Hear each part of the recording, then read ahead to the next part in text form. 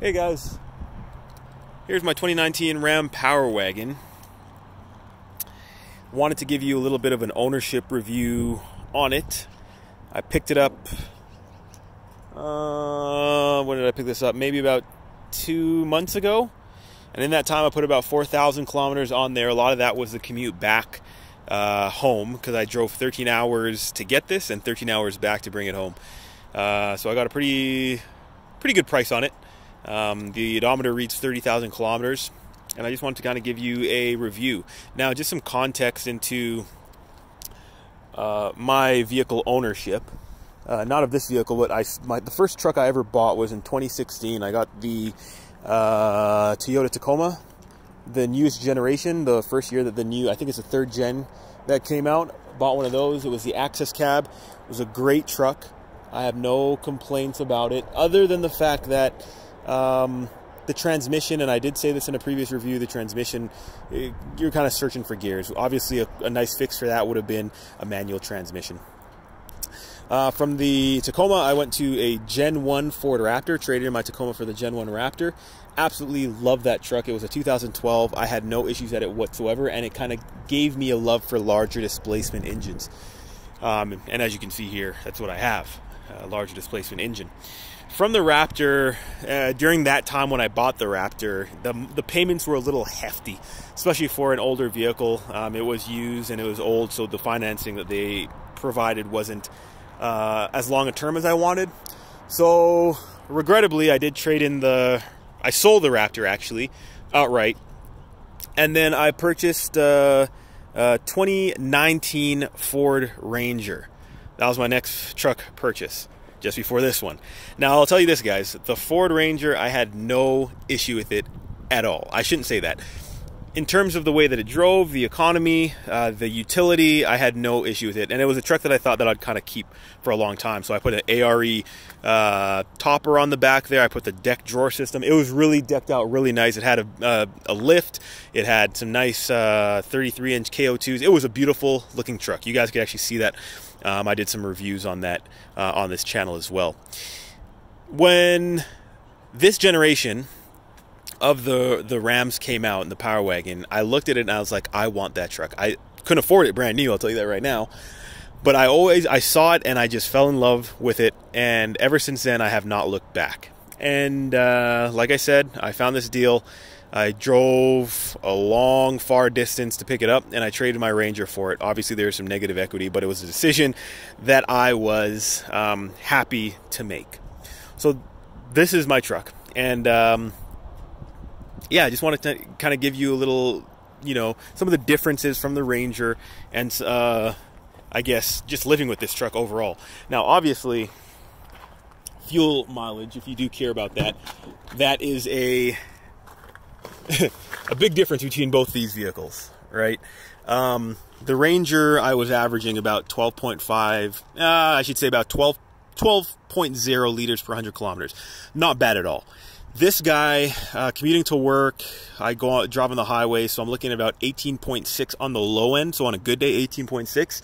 Driving around town or whatever, uh, that would bring it up to about 19.8 liters per 100 kilometers. So not good at all. Um, but uh, that being said, it's it's not horrendous, especially for a heavy duty vehicle.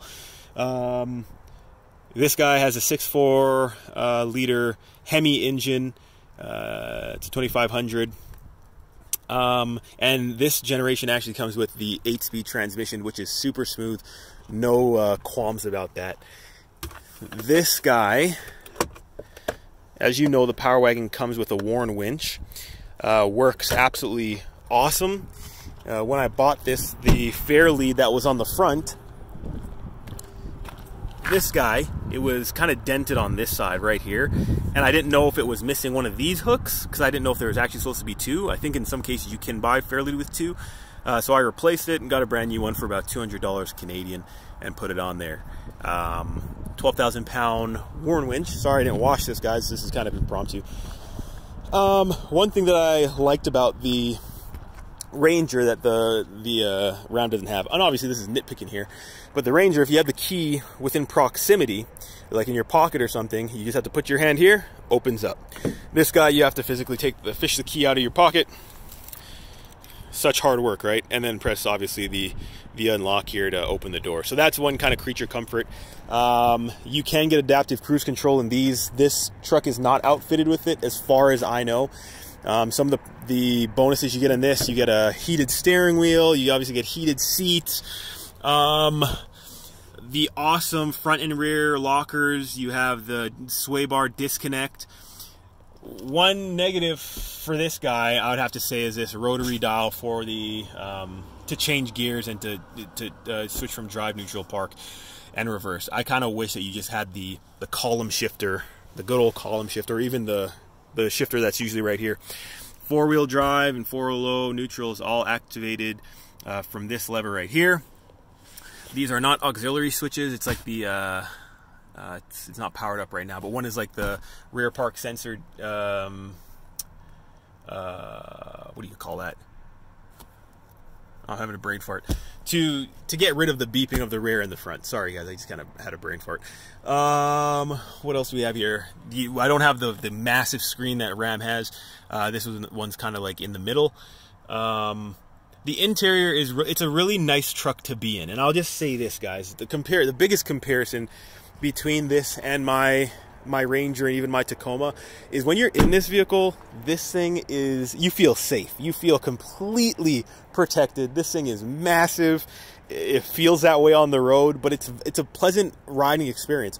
One thing that I did notice though and it's a, a, pro for the, the, the Ranger is that the suspension on the Ranger, I had the FX4 package, the suspension was absolutely beautiful, totally dialed in. This is a heavy duty truck, the suspension is stiffer. It's a stiffer ride, and for, for many reasons, right? You're with a heavy duty truck, you want to be able to, to move a lot of weight, payload, towing, that kind of thing. So you will need a stiffer suspension to kind of compensate for that. So that that is one thing if you're kind of driving at highway speeds and you go over a pretty significant bump the suspension is stiff, so it doesn't really inspire that much confidence. Um, on the vehicle, when I bought it, were these Dynapro AT2s. Uh, from memory, I believe the 35, where is it? 35, 12, 50, R18. So 18 inch rim. Uh, these are Mayhem wheels. I don't know much about them, but the, the red accents, at first I thought it was a little gaudy, but the red accents kind of go well with uh, the red accents on the vehicle itself. The 6.4 liter badging, heavy duty badging. Um, it also came with a tonneau cover on the back here. It's a soft one that kind of rolls up. Um, here's a, a, benefit of the, the Power Wagon over the um, Ranger. Just press this button twice. Uh, focus here. Oh well, that, that opens it up, or sorry, that starts it up. You can hear the 6.4, but this guy right here I meant to say. It, with the tailgate, press it twice, tailgate comes down, and you're laughing. So that's awesome. Uh, nice little creature comfort. So here you can hear the idle, uh, parking sensors all around, um, sliding rear window. Open this guy up at the back. Lots of room back here. Um, one nice thing, and I said this about the uh, the Ranger. I didn't like the fact that in the Ranger you couldn't lift the seat up the whole way. It I forget. Oh yeah, you know what? The seat at the back here actually came downwards, and it wasn't a flat surface. This, what they do in Ram here, which I kind of, which I think is nice, and it's the same on the other side, but they give you this little platform here. You can open it up, and then you flip it over this way, and all of a sudden you have a flat surface on the ground. And it goes the same for the other side. There's a flip over portion there, so you have a big, long, flat surface. One day I, um, I was at work, worked overnight, and uh, um, I was a little tired to go on the road to head back home, so I kind of just opened this up and slept on it, and it was absolutely horrible. So I don't recommend that. Get a mattress or something if you're going to do that. And I don't know how much weight this can hold, to be quite honest with you. So the back here, there's a lot of room, comfortable. It's a beautiful, wonderful place to be in. Um,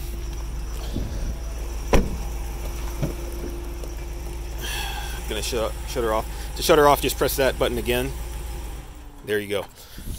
Seats are fully adjustable. Um, this is like a partial leather or maybe a pleather with a cloth interior, and the, the uh, this is really nice over here where you have like the tire treading. It's pretty cool. Power wagon kind of uh, stamped or sewn into the seat itself. Tons of storage. Um, got my Corona mask over there, um, and this actually flips up to be a seat within itself. So that's pretty neat. Um, what else? What's another positive for you guys? Like I said, like in the the Ranger, the transmission, the 10 speed that Ford came out with, with was absolutely smooth. I like I said, guys.